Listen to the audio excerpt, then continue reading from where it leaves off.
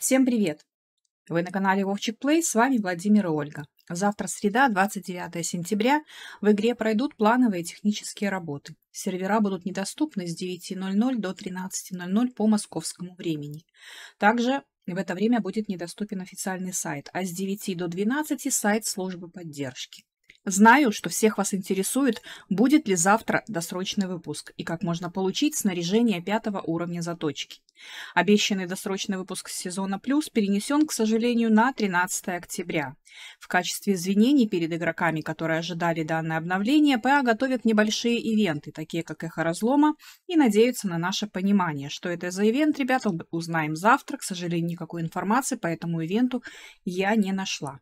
Кроме того, поскольку выпуск был отложен, будут проведены ивенты, которые позволят быстрее развиваться после перехода на обычные серверы. Перенос досрочного выпуска, как я полагаю, связан с тем, что разработчики не успевают перевести на языки локализации после сезонный контент в виде поддержки развития. Но все же кое-какая информация о данном контенте есть. Чтобы помочь новым игрокам адаптироваться к игре, контент разделен на 7 категорий. Основные квесты, журнал приключений, убийства, рейды, кулинария, охота, разделка обучения, советы. Покупать данную подписку не нужно. Она будет доступна всем персонажам, которые выпустятся с сезонного сервера. Постепенно выполняя задания, вы будете получать дополнительные награды. Данная система поощрения, она уже есть, например, в BDO Mobile, а также в других играх. То есть вы выполняете определенное количество квестов каждой категории, у вас есть основная награда, это сверху шкала вы видите, и есть награда, которая отображает общее выполнение задач. Это шкала снизу, которая вот в процентном соотношении. Если вы досмотрите данное видео до конца, вас ждет еще одна важная информация, которая наверняка вас заинтересует. А пока я вернусь к обновлению.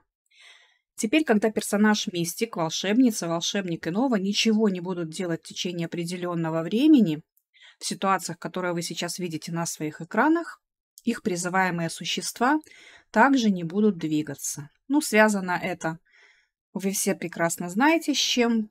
Множество жалоб было на АФК фарм мистиков, но при помощи призывных существ. И вот дабы убрать абуз данного способа, было и введено вот данное ограничение. При обработке, наполненной благословением эссенции с помощью простой алхимии, можно будет снова получить использованные для ее изготовления предметы. Я так понимаю, что было множество обращений в техподдержку о том, что люди случайно объединили и сделали вместо средней баночки две маленькие. И вот, чтобы не разбирать эти письма, сделали способ вернуть итемки обратно. Рейтинг и очки каждой гильдии были добавлены к статусу осады территорий. Они будут отображаться с того момента, когда гильдия уничтожена. Кроме того, очки и рейтинг остаются такими же, как и раньше. Дифференциальная компенсация выплачивается в соответствии с рейтингом только в том случае, если до конца осады территории осталось две или более гильдий в отсутствии владельца территории. Были внесены улучшения, когда вы используете инструменты для возведения осадных построек во время захвата – узла описание отображается при наведении указателя мыши на каждую постройку в отображаемом пользовательском интерфейсе. Ну и обратите внимание на ивенты, которые завтра завершаются. Удары грома – мощный источник молнии. Завтра перестанет появляться баф на плюс 20 атаки. Тренировка с пугалом – это 50% скидка на книжки для тренировки, также завтра завершается. Надежно спрятанный подарочный сундук от Эсселин. Завтра закончится данный ивент, перестанут падать вот такие коробки. Если мне не изменяет память, то это лучший ивент среди ивентов вот с таким дропом на спотах, который был. Мы сегодня открыли где-то что-то около 700 данных коробок. И коротенькое видео будет на нашем канале позже. Я покажу вам, что мы из этих коробок достали. Но мы остались довольны. Закончится ивент «Поймайте попрыгушку Чопи», то есть перестанут приходить вам в достижениях морковки, вы больше не сможете получить награды за милашку Чопи и за попрыгушку Чопи, а также титул там дается. Особое время 24 часа в сутки. Это был баф на 300% боевого опыта, по-моему, 50% опыта навыков. Ну и, в общем, там большой перечень был бустов, он завтра закончится. Награды за вход на выбор. Завтра заканчивается календарь, как обычно, и с 0 часов со, среда, со среды на четверг стартует новый календарь. И завтра закончится у нас прокачка Корсара до 61 уровня.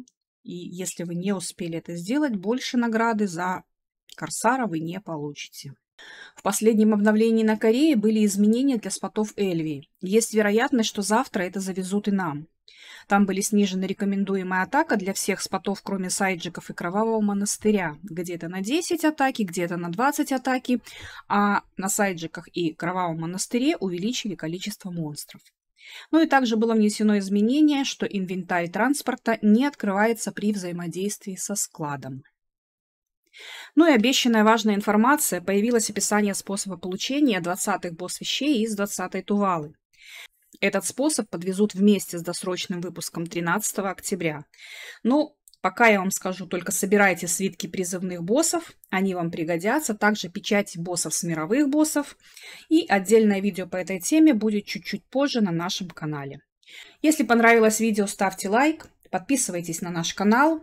Если станете спонсором канала на YouTube, либо оформите платную подписку на Твиче, получите подарок в виде особых иконок для меню выбора персонажа. А на этом все. Всем пока!